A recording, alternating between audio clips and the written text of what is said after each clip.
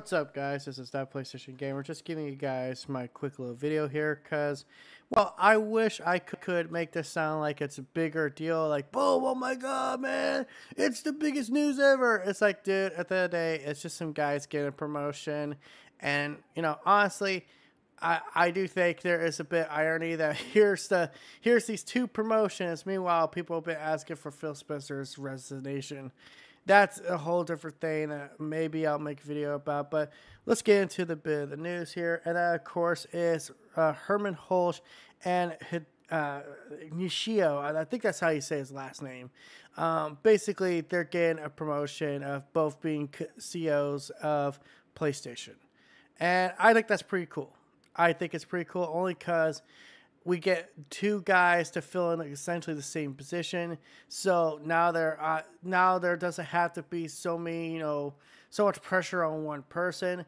It sounds like Ishio is someone who's going to be in charge of kind of the hardware side of things, and you know, like kind of you know the I guess you would say the techie side, while still also working on third party relations. And Hermen Hulst is basically just got a nicer office because now he's basically doing the job he's been doing. That's in charge of PlayStation Studios, but also in charge of probably you know some other stuff on the side. And yeah, that's really that's all I could say. Like at the end of the day, I don't think this is a huge news. I don't think this is going to destroy Xbox. I don't think this is going to destroy Nintendo. You know, this was something that they were going to have to do because guess what? They have to replace Jim Ryan. And I know a lot of people don't like Jim Ryan. And don't get me wrong, I get why people don't like Jim Ryan. He's kind of like Phil Spencer, where he lies a lot.